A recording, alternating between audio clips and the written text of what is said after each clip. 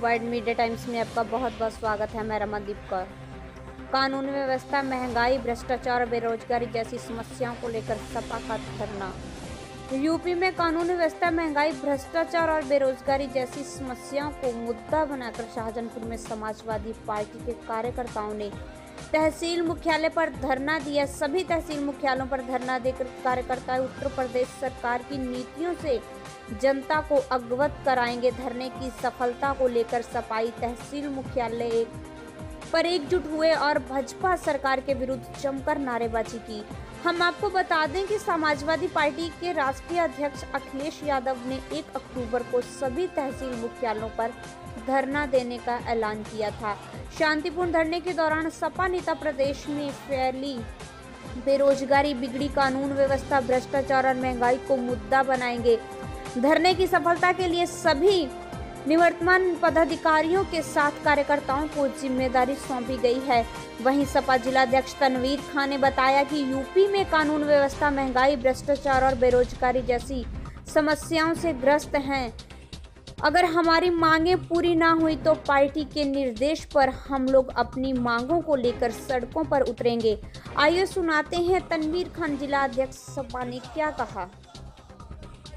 पूरा को है आज समाजवादी पार्टी के प्रदेशीय आह्वान पर हमारे समाजवादी पार्टी के लोकप्रिय नौजवानों के, करोड़ों नौजवानों के दिलों की धड़कन माननीय अखिलेश यादव जी के आह्वान पर पूरे प्रदेश में तहसील स्तरीय धरना, उत्तर प्रदेश में भाजपा योगी सरकार के खिलाफ, योगी सरकार के खिलाफ उत्तर प्रदेश में बढ़ती हुई महँगाई, कमर तोड़ महँगाई, भ्रष्टाचार और बलात्कार, लूट, डकैती हत्या, अपहरण, तमाम अपराध दिन पर दिन उत्तर प्रदेश के अंदर अपराधों की पाड़ लगी है। आज इन्हीं जन समस्याओं को लेकर और बच्चियों के साथ दुष्कर्म, ऐसी तमाम घटनाएँ आए दिन लगातार हो रही हैं। पूरा प्रदेश अपराधों का प्रदेश बनकर रह गया है। अपराधों की सरकार बनकर रह गई है। इसलिए आज पूरे प्रदेश में हमारे माननीय राष्ट्रीय अध्यक्ष जी की तरफ़ से उनके आह्वान पर पूरे प्रदेश में तहसील स्तरीय धरना आज हो रहा है। जनपद शाहजहाँपुर में पाँच तहसीलें हैं। एक कलान, जलालाबाद, तिलहर, पुआया और तहसील सदर। आज हम लोग, हमारे निवर्तमान जिला महाजूर रंजन सिंह यादव जी और नगर अध्यक्ष हमारे कपिल वर्मा जी और हमारे गायत्री वर्मा जी स्तु गुप्ता जी, संजीव वर्मा, तमाम पार्टी कार्यकर्ता और हमारे नेता यहाँ पर मौजूद हैं तहसील सदर में। हज़ारों की संख्या में यहाँ पर जन सैलाब उमड़ा है।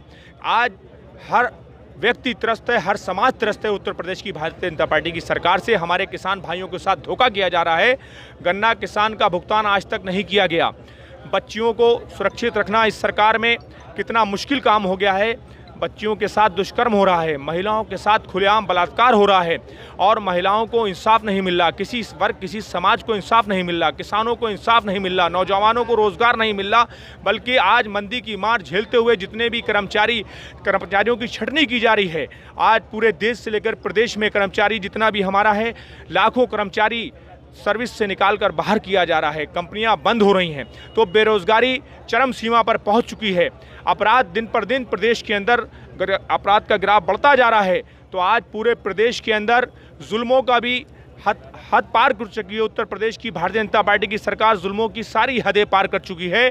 इसलिए आज हमारे समाजवादी पार्टी के राष्ट्रीय अध्यक्ष माननीय अखिलेश यादव जी के आह्वान पर जो प्रदेश में तहसील स्तरीय धरना हो रहा है ये बहुत कामयाब, शानदार धरना हमारे सभी नौजवान साथी, बुज़ुर्ग महिलाएँ सारे इस धरने में शामिल हैं। जनपद शाहजहांपुर के पाँचों तहसीलों पर शानदार धरना चल रहा है। उत्तर प्रदेश की भारतीय जनता पार्टी की सरकार को हिलाने के लिए आज ये बिगुल बजाने का काम माननीय अखिलेश यादव जी ने किया है। मैं उम्मीद करता हूँ कि इस हमारी समाजवादी पार्टी माननीय अखिलेश यादव जी के साथ समाजवादी पार्टी के बैनर तले और झंडा लेकर सड़कों पर निकलकर इसी तरह से जनता को इंसाफ दिलाने के लिए जिस तरह से माननीय अखिलेश यादव जी सबको साथ लेकर चल रहे हैं। समाजवादी पार्टी के नौजवान, उनके साथ कंधे से कंधा मिलाकर इस भ्रष्ट निकम्मी और अत्याचारी, नाइंसाफ वाली भारतीय जनता पार्टी की योगी सरकार के खिलाफ ईट का जवाब पत्थर से देने का काम करेंगे आर पार की लड़ाई लड़ेंगे। देश दुनिया की खबरों के लिए World Media Times News channel को सब्सक्राइब